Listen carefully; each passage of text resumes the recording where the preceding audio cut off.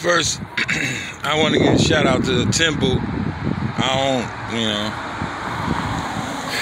I like if people ask me all the time, like how you be doing certain stuff that you do. I don't, I have no clue, and I just give God the glory to it.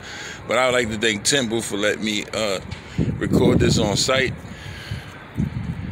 And you know, so um, this is the Decopbo Show NBA recap edition. Uh, uh, I would like to just say, listen, man. Like anybody who know me, uh, they know I'm I'm I'm a uh, I'm a I'm a LeBron James fan, man. I'm really not got no team. I've been a LeBron James fan since he played my little cousin Reese Rice at Strawberry Mansion, and like when he was in high school, I knew that boy was special.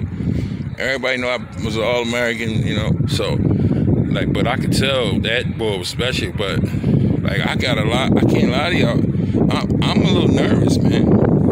I, I can't lie. I'm nervous. I'm extremely nervous.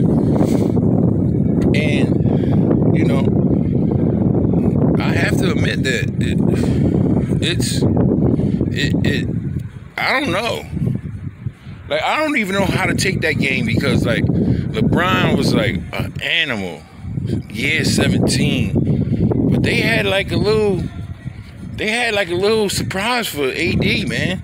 And that was a dude who I thought like really no matter what no team got like there is no answer for a seven foot dude who could bring the ball up and shoot a three pointer and, and fade away and like he's a freak. He's a freak yo.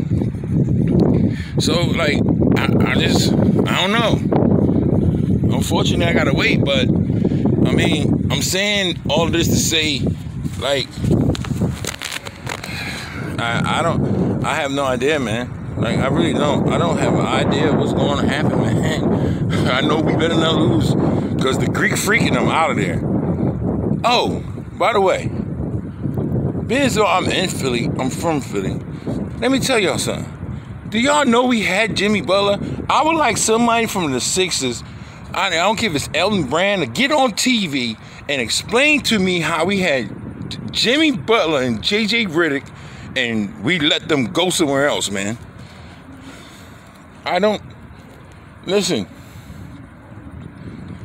What that boy doing, he. It's not like he went to Miami and he started doing something that he he wasn't doing it. He was doing that shit when he was playing for the Sixers. Like, I'm so disgusted right now.